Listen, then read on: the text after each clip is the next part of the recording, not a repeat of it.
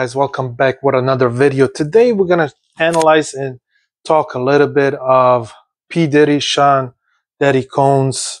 Uh, as we all know he's um, been in media accused and um, he was actually arrested for trafficking um, for gun violation. He's been probably gonna get a lot of more charges on it and um, we'll see what happens next. And um, if if he was smart, he he should cooperate with the authorities right now, and um,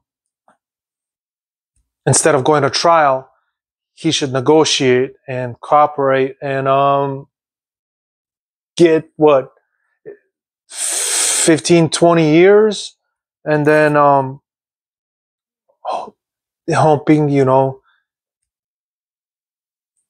he cooperates, builds other cases, and maybe 20 years he gets out in 15. But if he goes to trial, let me put it this way: if he, if if he goes to trial and enticing professionals, workers to cross state lines from California to Miami to New York, you already you're already guilty of uh, trafficking. That's a done deal. So he's going to get convicted about that. So they contact me and they told me to come, this, that. He's going to get 20 years right there. Then he's got the gun charges and the weapons that were found. That's a major one. So he's done. He should not go to trial. He can't beat the trial. So I'm thinking 15 20 years. I don't know if they're gonna let him cooperate, but but who knows? If he's going to trial, he's definitely getting 30 years. But we'll see what happens. I mean, his situation. Uh, uh, I, I don't know if his situation they want to cooperate with him maybe they're going to say, we don't want anybody else. We, we're focused on you. We just want you. We want P. Diddy to go down, make an example of him and just put him behind bars and, and just lock him up for all the stuff, all the years that he was doing whatever he was doing. So who knows what's going to happen. But for him, the best case is to cooperate if they will allow him to cooperate. Otherwise, he's in he's in big trouble. So the main witness, Cassie, he tried to negotiate the deal. He was trying to close that deal with her behind settlement, behind closed doors. She didn't want to do that. So, so we don't we don't know what's happening. But what's the only thing is maybe can help him is if they decide like go back to the Tupac murder. If he can cooperate about that, maybe that will give him a little break. Who knows if he's involved or not, but who knows what's what they talk about behind closed doors. So so we don't know. If he has something to say, whatever it is, they might help him. But still he can talk to them, cooperate, and they can still give him 20 years. He's 54, he gave him 20, he's 74. So he does 17 years.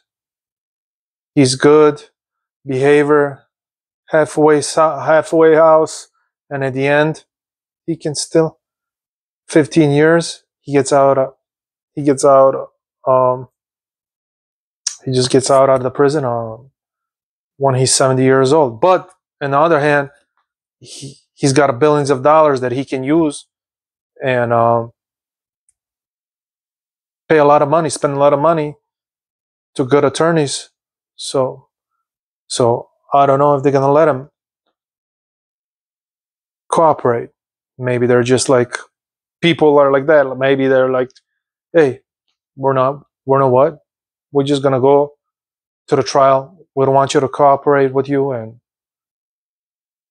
but then sometimes money, I don't know if money can help him in this case.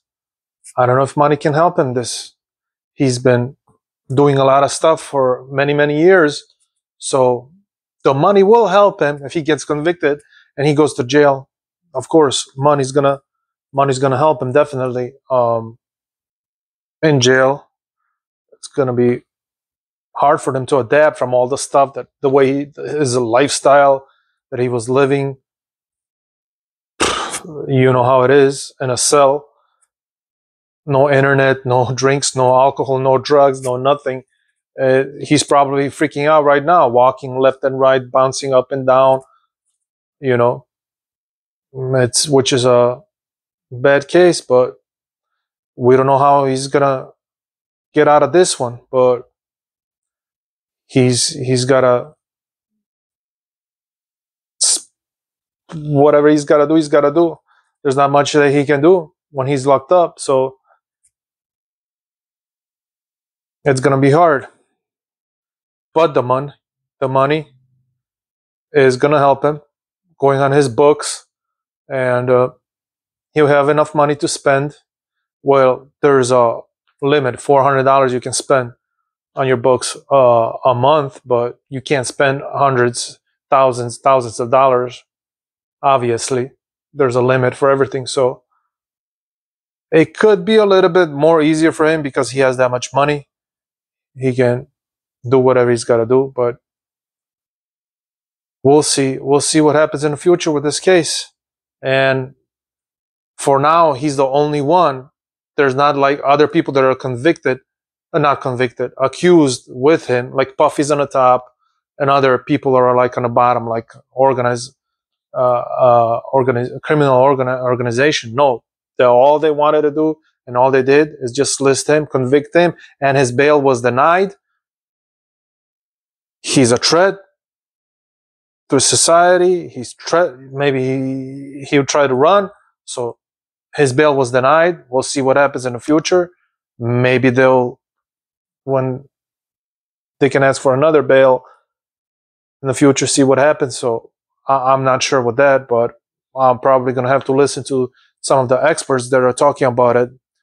Uh, so they know better stuff than me. I'm just trying to take this information, what I heard, and uh, just to spread it out. So this is what's happening. So